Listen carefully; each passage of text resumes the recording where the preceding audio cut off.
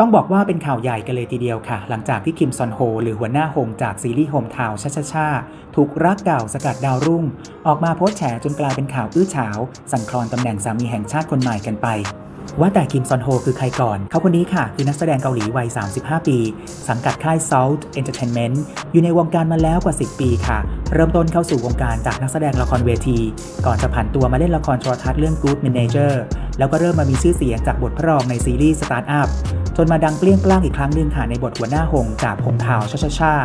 ด้วยลุคที่ดูอบอุ่นถูกใจสาวน้อยสาวใหญ่ และดูเหมือนว่าจะได้ขึ้นแท่นเป็นสามีแห่งชาติคนใหม่ด้วย แต่ดันมาเกิดข่าวเช้ากับอดีตแฟนเก่าขึ้นมาสกัดดาวรุ่งซะก่อน เรื่องของเรื่องความอื้อฉาวค่ะเกิดขึ้นเมื่อนางสาวเอโพสต์แฉว่าถูกนักแสดงชายอักษรย่อตัวเคเนี่ยหลอกให้ไปทำแท้ง และเคยสัญญาว่าจะแต่งงานด้วย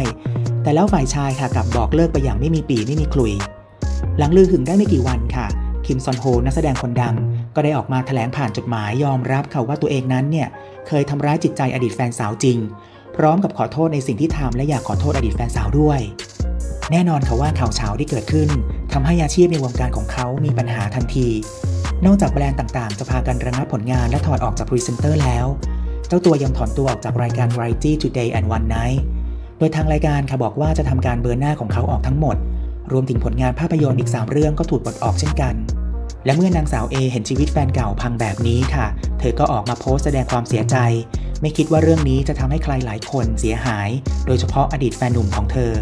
ซึ่งเธอก็ยอมรับคำขอโทษค่ะ ก่อนจะบอกด้วยว่าทุกอย่างเป็นเพียงเรื่องเข้าใจผิดสำหรับนางสาวเอค่ะหลายคนสงสัยว่าเธอคือใคร เธอก็คือคนในวงการสื่อนั่นเองค่ะ เคยอ่านข่าวพยากรณ์อากาศให้กับสถานีโทรทัศน์ชั้นนำของเกาหลีอย่าง YTN และ KBS